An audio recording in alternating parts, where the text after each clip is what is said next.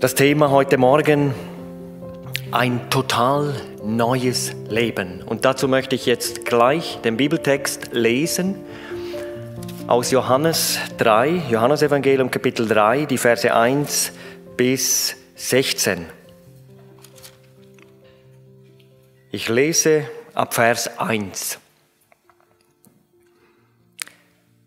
Es war aber ein Mensch unter den Pharisäern mit Namen Nikodemus, ein Oberster der Juden. Der kam zu Jesus bei Nacht und sprach zu ihm, Meister, wir wissen, dass du ein Lehrer bist, von Gott gekommen. Denn niemand kann die Zeichen tun, die du tust, es sei denn Gott mit ihm. Jesus antwortete und sprach zu ihm, Wahrlich, wahrlich, ich sage dir, es sei denn, dass jemand von neuem geboren werde, so kann er das Reich Gottes nicht sehen. Nikodemus sprach zu ihm, wie kann ein Mensch geboren werden, wenn er alt ist? Kann er zum zweiten Mal in den Leib seiner Mutter gehen und geboren werden? Jesus antwortete, wahrlich, wahrlich, ich sage dir, es sei denn, dass jemand geboren werde aus Wasser und Geist, so kann er nicht in das Reich Gottes kommen. Was vom Fleisch geboren ist, das ist Fleisch, und was vom Geist geboren ist, das ist Geist. Lass dich's nicht wundern, dass ich dir gesagt habe, ihr müsst von neuem geboren werden. Der Wind bläst, wo er will, und du hörst sein Sausen, aber du weißt nicht, woher er kommt und wohin er geht. So ist ein jeglicher, der aus dem Geist geboren ist. Nikodemus antwortete und sprach zu ihm, wie mag solches zugehen? Jesus antwortete und sprach zu ihm, bist du ein Lehrer in Israel und weißt das nicht? Wahrlich, wahrlich, ich sage dir, wir reden, was wir wissen und bezeugen, was wir gesehen haben, und ihr nehmt unser Zeugnis nicht an. Glaubt ihr nicht, wenn ich euch von irdischen Dingen gesagt habe? Wie werdet ihr glauben, wenn ich euch von himmlischen Dingen sage? Und niemand ist in den Himmel hinaufgestiegen außer dem, der vom Himmel herniedergekommen ist, nämlich der Sohn des Menschen, der im Himmel ist.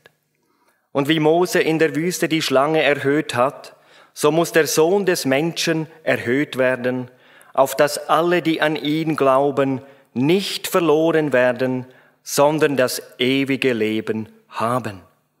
Denn also hat Gott die Welt geliebt, dass es einen eingeborenen Sohn gab, auf dass alle, die an ihn glauben, nicht verloren werden, sondern das ewige Leben haben. Soweit der Text heute Morgen.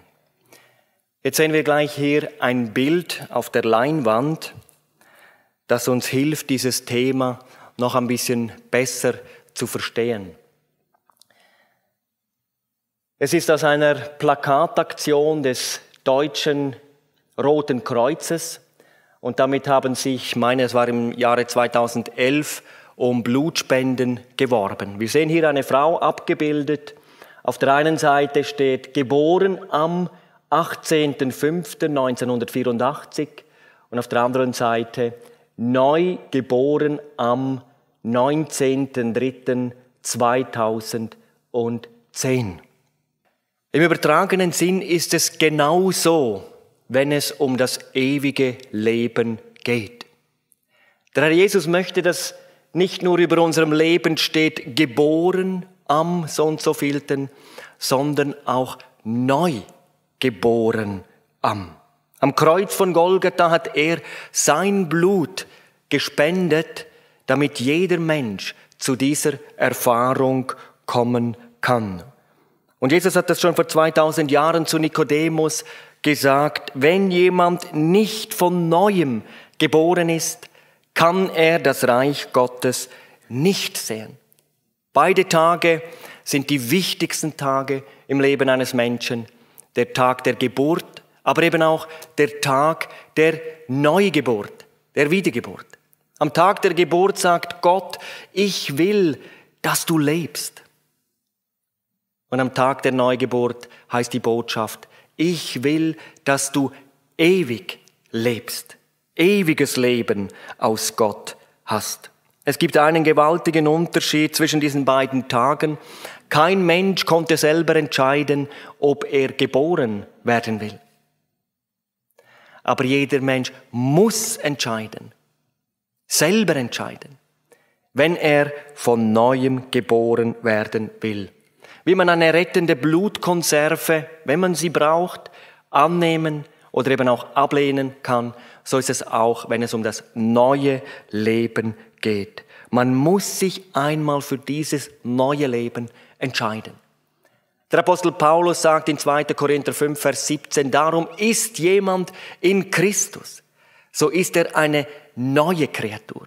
Das Alte ist vergangen. Ein neues oder ein ganz neues ist geworden. Und ihr Lieben, diese neue Geburt ist das machtvollste Handeln Gottes an einem Menschen, wenn er Jesus Christus bewusst in sein Leben aufgenommen hat.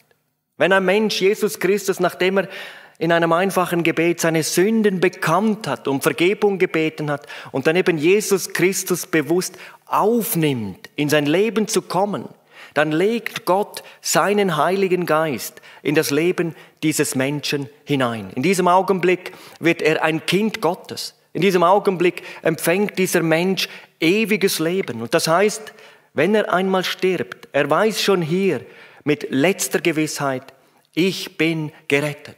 Ich habe ewiges Leben. Das Beste kommt noch. Das Wunderbare, er weiß bereits hier, ich habe ein Leben aus Gott. Durch diese geistliche Geburt wird er ein Kind Gottes, er wird ein Erbe Gottes, er wird ein Erbe, Miterbe Jesu Christi. Bei diesem Zeitpunkt der neuen Geburt, dieser geistlichen Geburt, wird sein Name aus dem Gerichtsbuch ausgelöscht und eingetragen ins Buch des Lebens. Es kann sein, und davon gehe ich auch heute Morgen aus, dass Menschen hier unter uns sind, die sich einmal bekehrt haben, aber die Wiedergeburt nicht erlebt haben. Ja, gibt es so etwas? Ihr Lieben, so etwas gibt es. Wie oft habe ich schon in der Seelsorge Menschen erlebt, die mir gesagt haben, ich habe das ganz ernst gemeint. Ich habe meine Sünden Jesus bekannt, aber irgendwie, ich kam nie zu dieser Erfahrung, dass ich Heilsgewissheit habe. Eine Geschichte ist mir besonders geblieben. Da hat mir eine Frau erzählt, mit zwölf Jahren habe ich mich für Jesus entschieden, aber so einiges noch gar nicht verstanden, dass es eben einen Herrschaftswechsel braucht. Dann seien so einige Jahre vergangen. Mit 16 hätte sie sich taufen lassen, sich vor die Gemeinde gestellt, dann bezeugt, ja, ich habe mein Leben Jesus Christus übergeben, aber da innen hatte sie keine Gewissheit, dass sie wirklich ein Kind Gottes ist dass sie gerettet ist. Und immer wenn es dann so um die Ewigkeit ging, auch um die Hölle, dann kamen immer so starke Zweifel. Und dann kam eine Evangelisation. Und dann hatte sie den Mut, einmal in die Seelsorge zu gehen. Und dann erzählte sie ihre Geschichte dem Prediger. Und dieser Evangelist hörte ihr ganz gut zu und dann sagte er, ich glaube, ich habe verstanden, was dein Problem ist. Du hast deine Sünden immer wieder dem Herrn bekannt. Und er hat sie eigentlich auch vergeben. Aber du bist deinen eigenen Weg weitergegangen. Du hast dein eigenes Leben selber weitergelebt. Und sie sagte, da machte es zum ersten Mal so richtig Klick. Es braucht einen Herrschaftswechsel. Ich muss mein Leben abgeben. Und sie sagte, da, an diesem Tag sie eine Erfahrung, die ihr Verlangen bei weitem übertroffen hat. Es war der Tag dieses total neuen Lebens, dieses Neuanfangs in ein neues Leben. Hans-Peter Reuer, vielleicht kennen einige den Namen. Der Mann, der hat viele Vorträge gehalten, auch Bücher geschrieben, auch den jungen Menschen das Evangelium weitergegeben, dass ihm manchmal so richtig an den Lippen gehangen sind. Ein sehr gesegneter Diener im Reich Gottes. Er kam dann durch einen tragischen Unfall im Jahre 2013 ums Leben. Er hat ein Buch geschrieben mit dem Titel Du musst sterben, bevor du lebst, damit du lebst, bevor du stirbst. Noch einmal. Du musst sterben, bevor du lebst, damit du lebst, bevor du stirbst. Und in diesem Buch, ich zitiere, schreibt er, die Lüge, die wir nur allzu gerne glauben, ist, dass wir ein erfülltes Leben mit Gott haben können, ohne unser altes Leben dabei verlieren zu müssen. Ihr Lieben, Errettung ist nur vollständig, wenn ein Mensch zwei Dinge erlebt hat. Wenn er eine Bekehrung erlebt hat und wenn er eine Wiedergeburt erlebt hat. Bekehrung ist die eine Seite, eher die menschliche Seite der Errettung.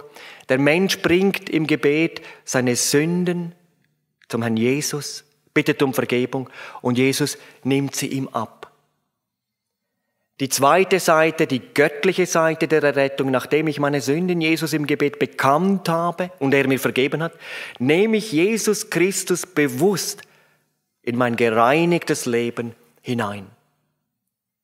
Das ist Wiedergeburt. Und der Mensch, der gerettet werden will, muss beides einmal erlebt haben. In Titus 3, Vers 5 steht, er errettete uns nicht aus Werken, die in Gerechtigkeit vollbracht wir getan hatten, sondern nach seiner Barmherzigkeit durch die Waschung der Wiedergeburt und Erneuerung des Heiligen Geistes. Darf ich an dieser Stelle einmal dich ganz persönlich fragen? Hast du das erlebt? Bist du bekehrt? Bist du von neuem geboren? Kannst du mit letzter Gewissheit sagen, ja, ich weiß von einer Stunde, von einem Tag in meinem Leben, da ist es passiert. Da kam die Wende in meinem Leben. Wenn nicht, ich lade dich ganz herzlich ein heute Morgen. Im Anschluss an diese Predigt, wir werden nochmals ein Lied hören, dann werde ich mit Gebet abschließen, dann hier den Raum verlassen, da die Türe hinaus, die Treppe hinaus. Da oben ist ein Raum vorbereitet, da hat es einen Tisch, ein paar Stühle. Und ich möchte dort anhand einer Zeichnung erklären, was die Bibel über diese Erfahrung sagt. Und wenn du heute kommst, das kann dein größter Tag heute sein. Oh, ich wünsche mir, dass auch heute wieder Menschen kommen, um diese Entscheidung zu treffen. Warum brauche ich eine neue Geburt? Weil jeder Mensch vom Sündenfall her und seit Adam zwei Dinge an sich trägt. Einmal das Wesen der Sünde, eine sündige Natur, und er hat auch selber gesündigt. Und das gibt dem Teufel das Anrecht, diesen Menschen zum Zeitpunkt des Sterbens ins Verderben zu reißen. Endstation wird dann sein, das ewige Feuer sagt Jesus in Matthäus 25, Vers 41. Das ist der zweite Tod, der Feuersee. Offenbarung 20, Vers 14. Dort, wo Satan und alle Dämonen, eigentlich ist die Hölle nur für den Teufel und seine Helfer gedacht. Aber es werden eben auch viele, viele Menschen dort sein. Unbekehrte Menschen. Und dann steht in Offenbarung 20, wer nicht eingeschrieben ist ins Buch des Lebens, wer nicht von neuem geboren ist, wird geworfen in den feurigen Pfuhl. Und Offenbarung 14, Vers 11, und der Rauch ihrer Qual steigt auf in alle Ewigkeit, und sie haben keine Ruhe, Tag und Nacht. Der Evangelist Torrey, er sagt es mal so, die unbekehrten Menschen wandeln auf einer morschen Decke über dem Abgrund der Hölle. Und in dieser Decke gibt es unzählige schwache und dazu unsichtbare Stellen. Jeden Augenblick kann die Decke einstürzen und du bist in der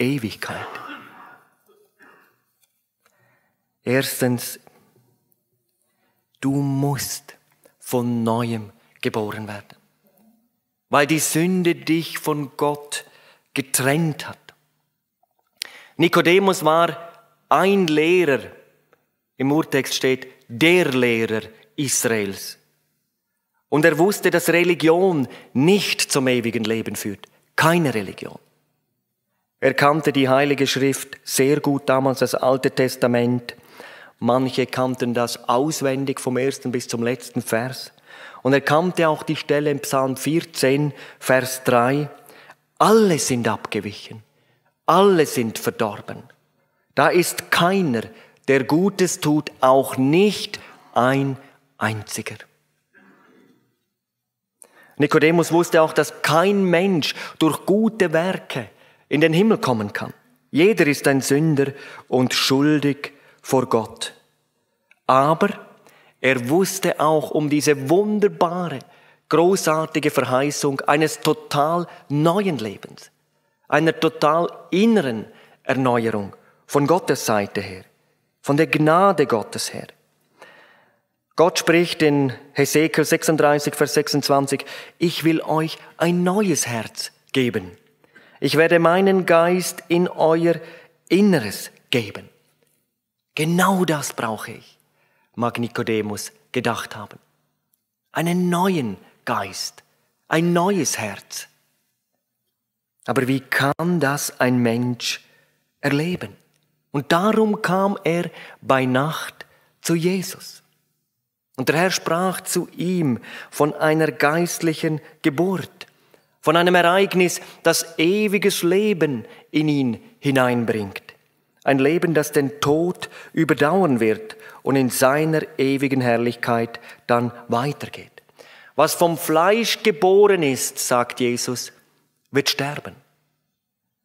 Aber was durch den Geist Gottes von neuem geboren wird, wird leben in Ewigkeit. Das Neue, das Jesus durch seinen Geist schafft, wenn ein Mensch sich für Jesus Christus entscheidet, wenn er seine Sünden bekennt, seine Übertretungen einsieht.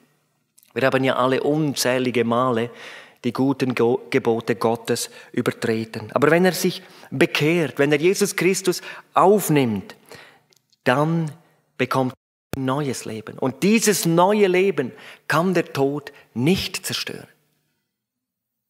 Wir wollen uns nochmals die Frage stellen, warum müssen wir unbedingt von neuem geboren werden? Warum brauchst auch du dieses total neue Leben? Noch einmal, Dr. Torrey, jeder Mensch, ganz gleich wie ausgezeichnet sein Charakter ist oder wie religiös seine Eltern sein mochten, wurde geistlich tot in diese Welt hineingeboren. Wir sind von Natur aus geistliche Leichen. Allein durch die Wiedergeburt werden wir lebendig. Ihr Lieben, der Sündenfall ist total. Gott hat den Menschen geschaffen, wir lesen das ganz am Anfang in der Bibel, 1. Mose 1. Und nachdem Gott den Menschen geschaffen hatte, sagte er, es ist sehr gut. Es ist sehr gut. Ein Wunderwerk aus seiner Hand, jeder Mensch.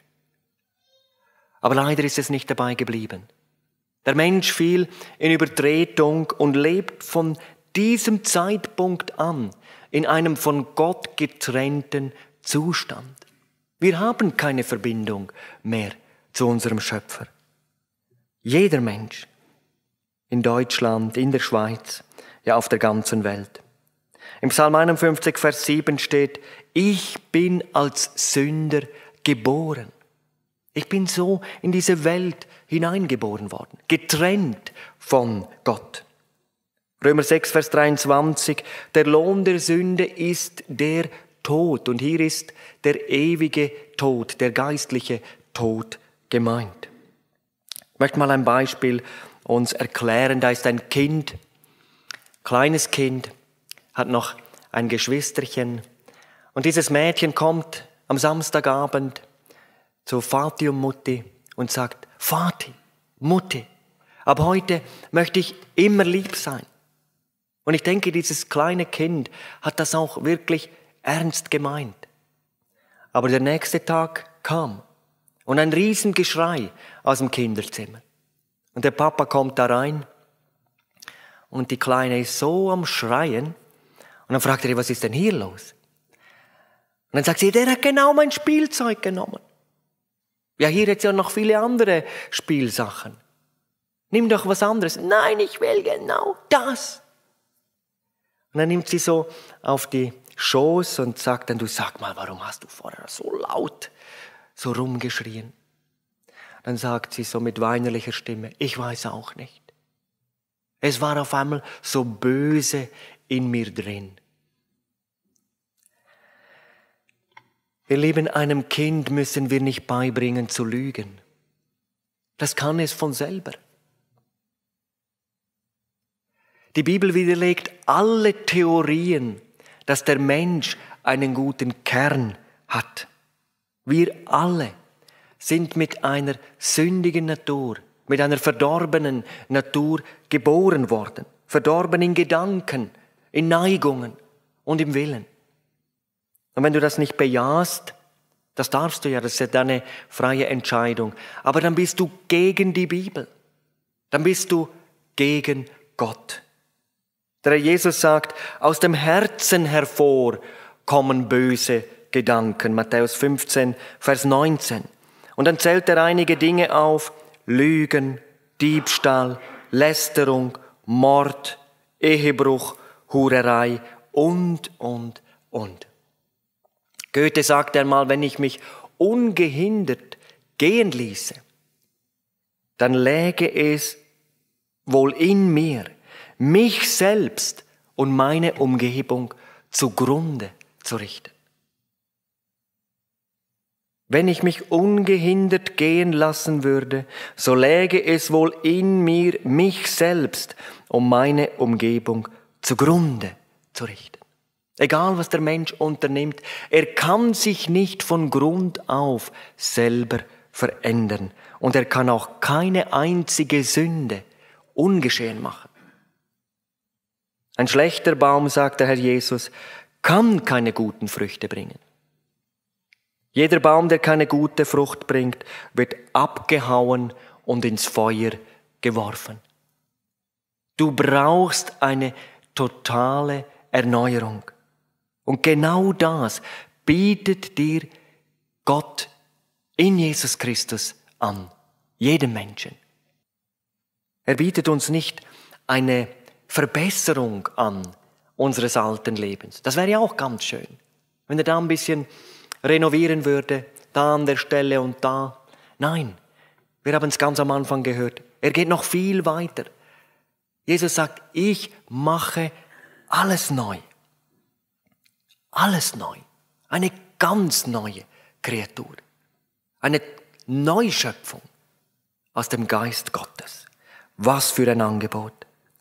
Wenn du dich heute entschließen würdest, nie mehr zu sündigen, es würde dich keinen Millimeter näher zu Gott bringen. Ob du jetzt in eine Kirche oder Freikirche gehst, ob du die Bibel liest oder betest, das sind ja gute, wichtige Dinge. Aber es würde dich keinen Millimeter näher zu Gott bringen. Gott hat einen anderen Plan. Bekehrung und Wiedergeburt. Und wenn das ein Mensch erlebt, dann ist das ein gewaltiges Ereignis. Wenn er es im Glauben annimmt und dann im Glauben dafür dankt, dann kehrt ein ganz neues Leben ein.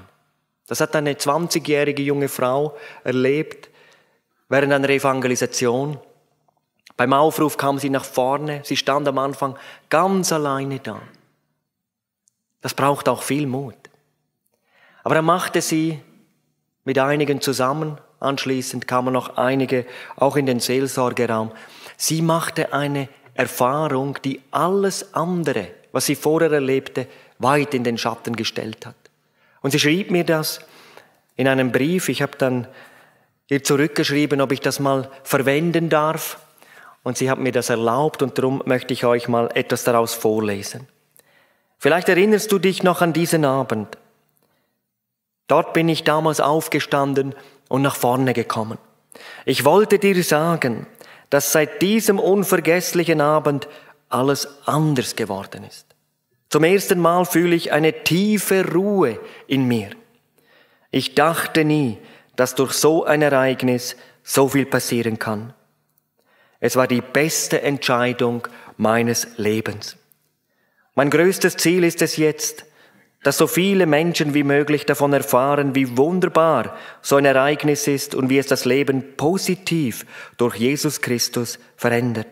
Meine Prioritäten sind seit der Bekehrung völlig andere geworden und die weltlichen Bedürfnisse haben sehr an Bedeutung für mich verloren. Jesus Christus ist meine Nummer eins geworden. Ist das nicht großartig? Das tut Gott an jedem Menschen, wenn er bereit ist, sein Leben abzugeben. Warum ist das überhaupt möglich?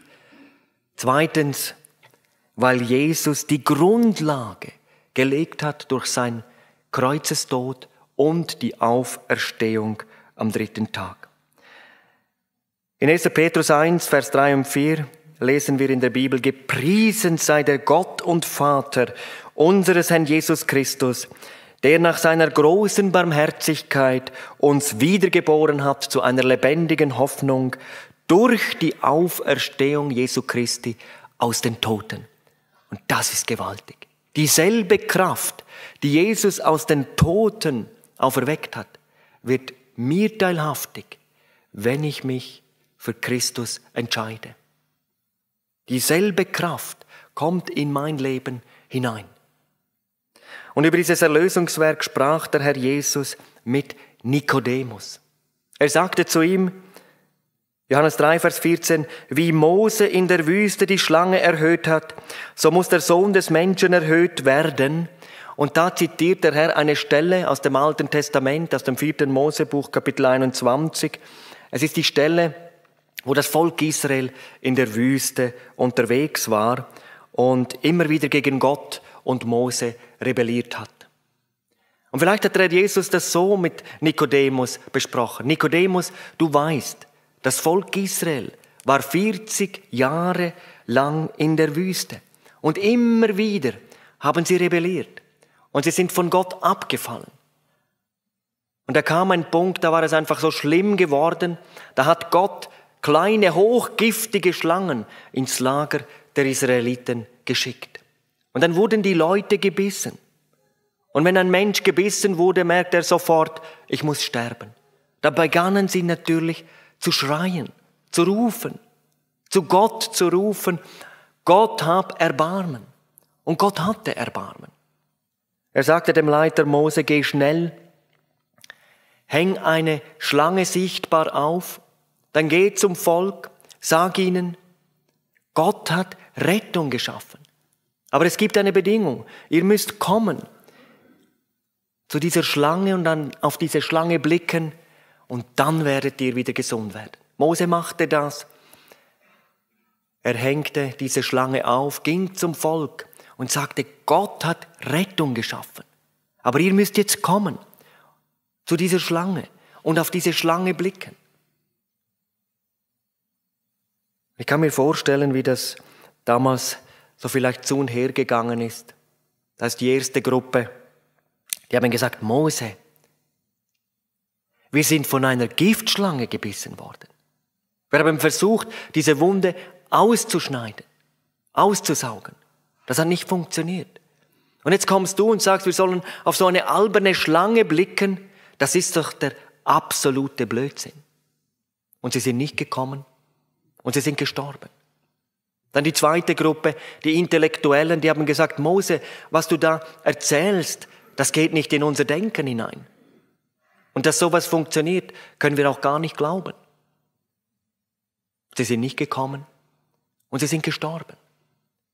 Die dritte Gruppe, die haben gesagt, Mose, also was du hier erzählst, das ist ja unfassbar. Aber wenn Gott das gesagt hat, dann wollen wir kommen und das tun. Und sie sind gekommen zu dieser Schlange und sie haben auf diese Schlange geblickt und sie wurden in dieser Stunde gerettet. Sie wurden gesund. Und Jesus fährt weiter und sagt Nikodemus, genau so werde ich bald an ein Kreuz gehen. Und ich werde dort mein perfektes Leben opfern, hingeben, für deine Sünden, für die Sünden der ganzen Welt. Und jeder Mensch, der im Glauben zu mir kommt und seine Lebensschuld mir bekennt, dem werde ich alles vergeben. Und wer mich bittet, in sein Leben zu kommen, bei dem werde ich hineingehen und dann ein ganz neues Leben schaffen, das nur ich geben kann. Vielleicht hat der Herr Jesus so ausführlich dem Nikodemus in dieser Nacht erklärt. Wir wollen uns mal fragen, kann Gott denn einfach so mir nichts, dir nichts, dir die Sünden vergeben? Oh nein, oh nein. Er hat einen unheimlich hohen Preis bezahlt. Ohne Blutvergießen steht in Hebräer 9, Vers 22, gibt es keine Vergebung. Bereits zur Zeit des Gesetzes für jede Sünde musste ein Opfer gebracht werden. Stellen wir uns das mal vor. Wie viel Blut musste fließen, damit jemand Sündenvergebung haben könnte? Aber das war alles vorschattend auf das einzigartige Opfer Jesu Christi. Er hat einen unheimlich hohen Preis bezahlt. Wir lesen so ein Wort in der Bibel. Sie geißelten ihn. Eine Geißelung war so etwas Furchtbares. Die römischen Soldaten haben da einen Menschen angebunden wie ein Tier an einem Holzpfosten und dann haben sie mit einer römischen Geisel, da waren Knochensplitter, Bleikugeln, Glasscherben eingeflochten, so lange auf diesen Menschen eingeschlagen. Nicht bis dieser Mensch nicht mehr konnte, nein, bis die Soldaten nicht mehr konnten. Man nannte das auch den Rückenpflügen. Knochen wurden sichtbar, Sehnen wurden sichtbar, Muskeln wurden sichtbar. Viele sind schon bei einer Geißelung gestorben durch den hohen Blutverlust. Doch der Herr Jesus ging seinen letzten Weg nach Golgatha. Einmal brach er sogar zusammen unter der Last dieses Kreuzes. Jemand anderes musste ihm helfen. Und dann kam er auf diesen Hügel. Dann wurde er auf dieses Kreuz gelegt. Dann wurden ihm Nägel durch Hände und Füße getrieben. Und dann wurde dieses Kreuz aufgerichtet. Und dann war er an diesem Kreuz furchtbar zugerichtet. Und dann betete er, Vater, vergib ihnen, denn sie wissen nicht, was sie tun. Sogar der römische Hauptmann, auf einmal gingen dem die Augen auf. Da ist einer in solch einer Qual und denkt nicht an sich selber. Er dachte an die anderen. Und er sagte, das ist gewisslich Gottes Sohn. Oder der Schächer am Kreuz. Auf einmal gingen ihm die Augen auf. Er hatte ja die Todesstrafe verdient für sein Verbrechen. Aber dann wendet er sich zu Jesus und sagt, gedenke an mich wenn du in dein Reich kommst. Und das war eine echte Buße. Wir empfangen, sagt er zum anderen Schächer, was unsere Taten wert sind. Aber dieser ist unschuldig.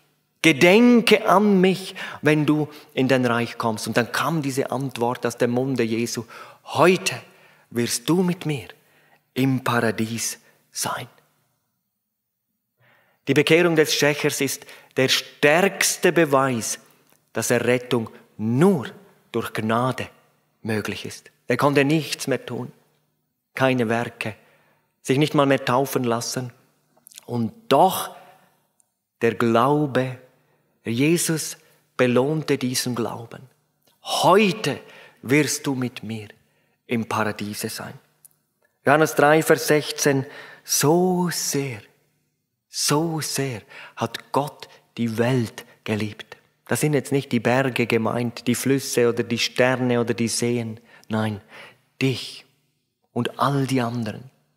Jeder Mensch ist so wertvoll in den Augen Gottes, dass Jesus, auch wenn nur einer gerettet würde, sein ganzes Leben geopfert hätte. So wertvoll bist du in Jesu Augen. Und er möchte auch dir dieses ewige Leben schenken. So sehr hat Gott die Welt geliebt, dass er seinen eingeborenen Sohn gab, damit jeder, der an ihn glaubt, nicht verloren wird, sondern das ewige Leben hat. Sag doch auch du Ja zu Jesus. In einem Lied heißt es, ist's wahr, litt er für meine Schuld den Fluch am Kreuzestamm. Ach, mit so wunderbarer Huld liebt mich dies Gottes Lamm. Jesus starb für dich, Jesus starb für mich, ja, für uns alle starb der Herr. Gottlob, er starb für mich. Kannst du das sagen mit letzter Gewissheit? Ja, er starb für mich. Ich gehöre ihm für Zeit und Ewigkeit. Ihr Lieben, Liebe ist nicht ein Gefühl. Liebe ist eine Tat. Und Gottes größte Tat ist Golgatha. Dort hat Jesus uns die Türe weit geöffnet. Vielleicht sitzt heute jemand hier und denkt, ja, wenn der mich retten will, dann soll er mich doch retten. Dann muss ich dir sagen, Gott kann dich nicht retten, wenn du nicht gerettet werden willst. Die Türe ist schon lange offen. Jetzt musst du einmal durch diese Türe hineingehen. Das Rettungsseil hängt schon lange da. Du musst es einmal ergreifen. Heute sind Menschen hier in diesem Saal, im unteren Bereich oder am Livestream dabei. Vielleicht haben sie das Evangelium schon mehrmals gehört. Und sie wissen eigentlich in ihrem Herzen, genau, das stimmt.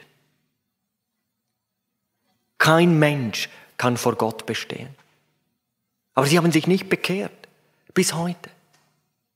Komm doch heute. Komm heute. Und mach es fest. Warum ist diese Wiedergeburt unumgänglich wichtig? Wir kommen zum dritten Punkt, weil es die absolute Bedingung ist, in den Himmel zu kommen. Wenn du in den Himmel kommen willst, und das ist ja für jeden, vorbereitet. Dann musst du von neuem geboren werden. Ohne Wiedergeburt wird niemand ins Reich Gottes eingehen, sagt Jesus. Und in unserem Text, Vers 7, ihr müsst von neuem geboren werden. Die Bibel sagt, du kannst es nicht nur wissen, du musst es wissen. Das ist wie beim Heiraten. Wenn mich jetzt jemand fragen würde, Sag mal, Michael, bist du verheiratet? Und jetzt stellt, stellt euch einmal vor, ich würde sagen, uh, das ist jetzt eine schwierige Frage. Also manchmal fühle ich schon so ein bisschen, aber manchmal auch überhaupt nicht. Also wenn meine Frau jetzt hier wäre, die würde mich aber anschauen. Natürlich würde ich sagen, na klar bin ich verheiratet. Ja, warum? Weißt du das so genau? Warst du denn dabei? Ja, natürlich war ich dabei. Am 28. Februar 2012. Sie hat Ja gesagt zu mir und ich habe Ja gesagt zu ihr. Und genauso ist es im Geistlichen. Der Herr Jesus hat vor 2000 Jahren sein Ja gegeben. Für dich. Und jetzt darfst du ihm einmal dein ganzes Ja geben. Du brauchst eine zweite Geburt. Die Bibel sagt, dann hat der zweite Tod keine Macht mehr über dich. Und der zweite Tod, Offenbarung 20, Vers 14, ist der Feuersee. Und wenn ich von Wiedergeburt rede, dann rede ich nicht von Wiederverkörperung, von Reinkarnation. So etwas gibt's überhaupt nicht. Das ist eine furchtbare Irrlehre. Es ist gegeben, den Menschen zu sterben einmal, danach aber das Gericht steht in der Bibel. Hebräer 9, Vers 27. Nein, ich rede von einer neuen geistlichen Geburt. Von Gott geboren werden. Noch einmal geboren werden. Ich war zu einer Evangelisation in Paraguay 2015 war das, in einer Sporthalle. Dort wurden die Predigten über Radio übertragen. Und da war ein Mann, der hat seine Tochter zur Kinderevangelisation gebracht. Das fand dann parallel statt. Aber er fuhr dann wieder nach Hause. Aber daheim hat er sich dann doch mal ans Radio gesetzt und er hörte die Predigt. Und irgendwie sprach der Herr zu seinem Herzen. Nächsten Tag war es wieder so, brachte seine Tochter, ging wieder nach Hause und dann traf ihn ein Wort Gottes. Und er sagte zu seiner Frau, also wenn ich heute dort wäre, ich würde beim Zuruf nach vorne gehen. Und die Frau machte genau das Richtige. Ich bring dich gleich dorthin. Und dann kam er. Und dann erlebte er etwas Wunderbares. Und ich möchte euch auch aus diesem Zeugnis etwas vorlesen. Auch er hat mir die Erlaubnis gegeben. Damals ahnte ich nicht, dass dieser Abend zum Höhepunkt in meinem Leben werden sollte. Der Prediger sprach von der Heilsgewissheit, die wir haben dürfen. Der nächste Punkt lautete, vielleicht hast du dich schon einmal entschieden für Jesus, aber du hast die Wiedergeburt nicht erlebt. Das schlug bei mir ein und es begann ein Kampf in mir. Jesus berührte mein Herz. Ich spürte, da musst du hin. Heute ist die Gelegenheit. Ich sagte zu meiner Frau, wäre ich dabei, ging ich heute nach vorne, um mein Leben Jesus zu übergeben. Sie antwortete, ich fahr dich hin. Ich nahm das Angebot an und erlebte mit vielen anderen zusammen meine Bekehrung. Anhand einer Zeichnung erklärte der Prediger den Heilsplan Gottes. Ich durfte erleben, wie Gott mir meine Sünden vergab. Er schenkt ewiges Leben. Ab jetzt weiß ich, dass mein Name im Buch des Lebens eingetragen ist. Ich bin gerettet. Und dann kommt auch gleich ein Zuruf, lieber Bruder, Liebe Schwester, wenn Gott dich mahnt, warte nicht. Es lohnt sich. Verpasse deine Gelegenheit nicht. Ich möchte dich bitten, nochmal ganz gut mitzudenken. Wenn du sagst, ich werde in Zukunft ein anständiges, vorbildliches Leben führen, dann höre, das reicht nicht. Du musst von neuem geboren werden.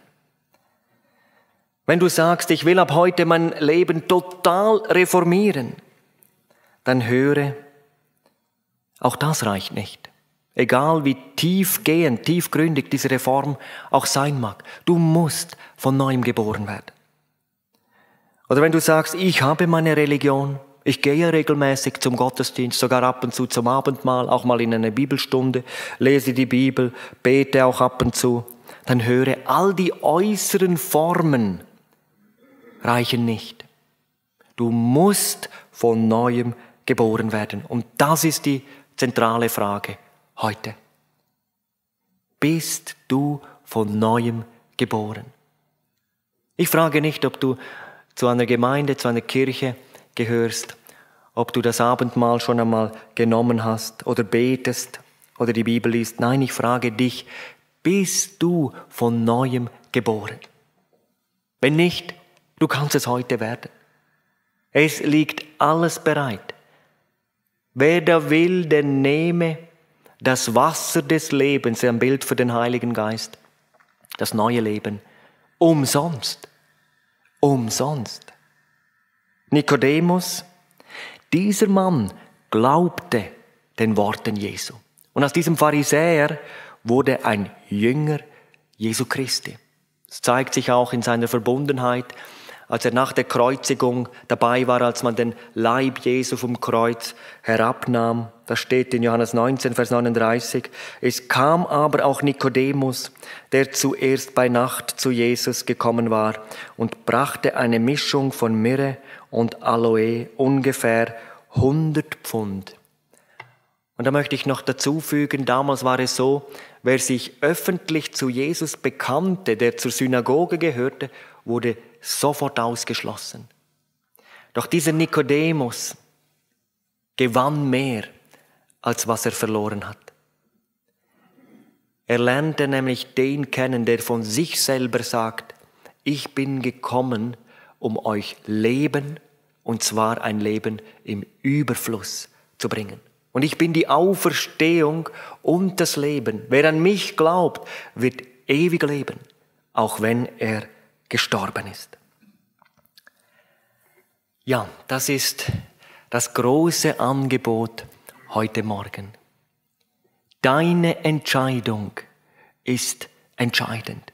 Und ich bin mir völlig bewusst, dass es auch heute Morgen nicht einfach ist, sein ganzes Leben dem Herrn zu übergeben.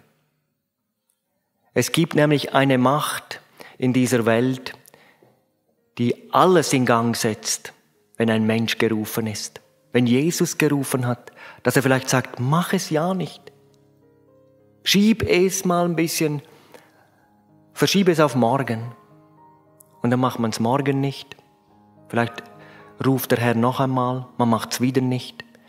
Und plötzlich geschieht irgendein Unglück. Bin vielleicht nicht mal selber verantwortlich. Es passieren viele Unfälle, wo andere schuld sind, aber dann die Menschen auf einmal in der Ewigkeit sind und sie haben diese Entscheidung nie gemacht. Schieb es nicht auf die lange Bank. Wenn Jesus dich heute Morgen gerufen hat, ob du sechs Jahre alt bist oder 60, ob neun oder 99, die rettende Hand Jesu ist auch heute ausgestreckt. Und wir dürfen kommen und diese rettende Hand ergreifen. Wer da will, der nehme das Wasser des Lebens, das ewige Leben umsonst. Amen.